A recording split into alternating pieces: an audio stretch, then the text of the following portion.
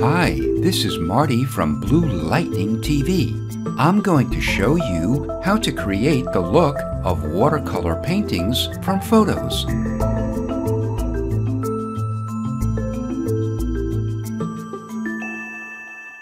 I provided this watercolor paper texture that you could download. Its link is in my video's description or project files. Before we begin, if you want to know as soon as I upload new Photoshop tutorials, smash that subscribe button and please remember to click like if you like this video.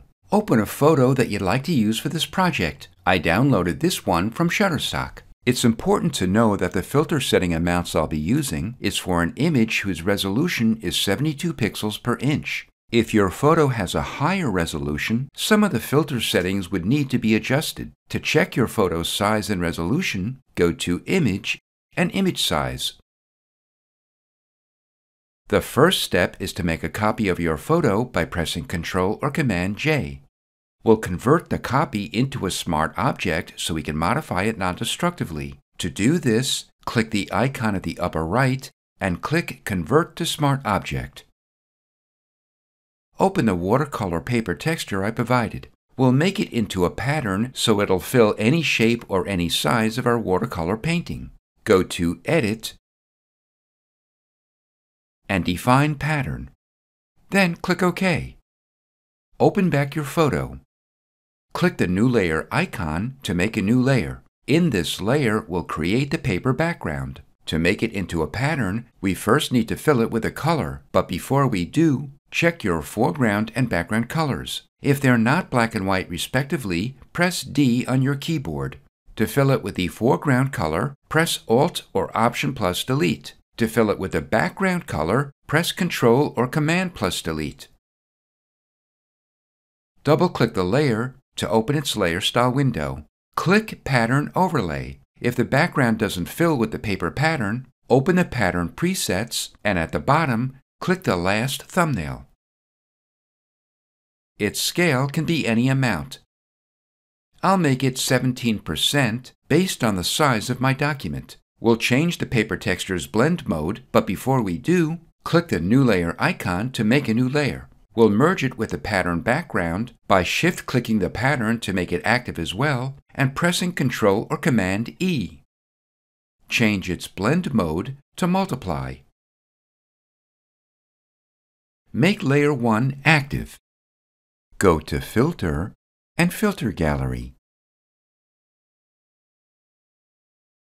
Open the Artistic folder and click Dry Brush. Make the brush size and brush detail 10 and the texture 1.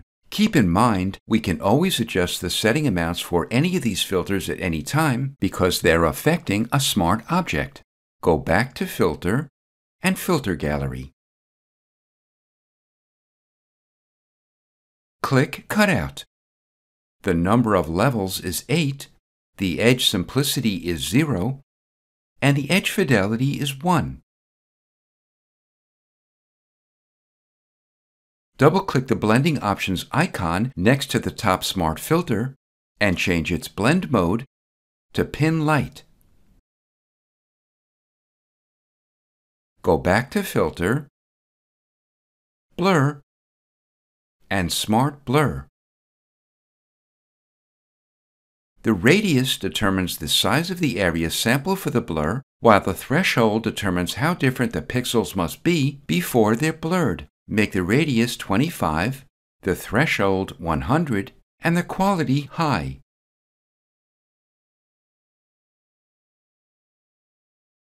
Double-click the blending options of the Smart Blur and change its blend mode to screen.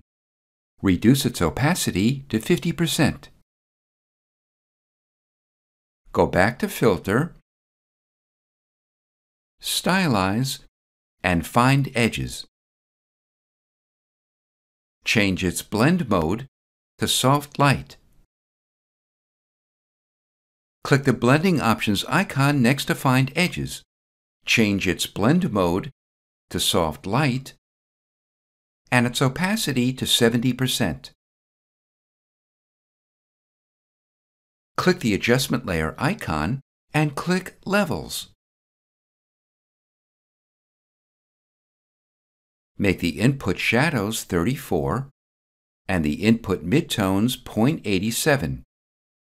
Open the Adjustments panel. If you don't see it, go to Window and Adjustments. Click the Vibrance icon. Drag the Vibrance all the way to the right and make the saturation 40. The main difference between vibrance and saturation is that saturation affects all colors equally. Vibrance only affects the less saturated colors. Hide the original photo and make the copy active. We'll make an inverted layer mask next to it by Alt or Option clicking the layer mask icon. This hides our painting because in layer masks, white reveals and black conceals. Open your brush tool and make sure the foreground color is white. Open the brush picker and click the gear icon. Make sure brush name and brush tip are checked. Click Legacy Brushes.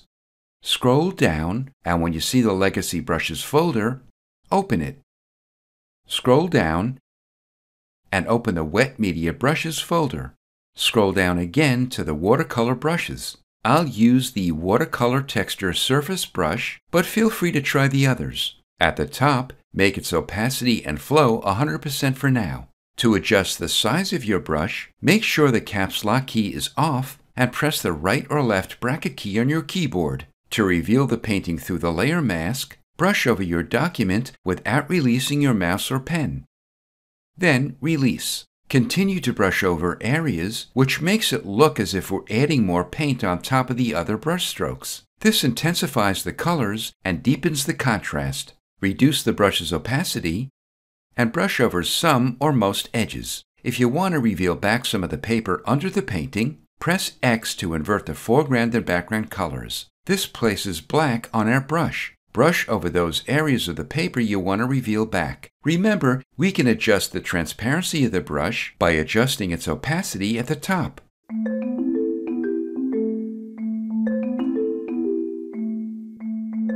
This is Marty from Blue Lightning TV. Thanks for watching.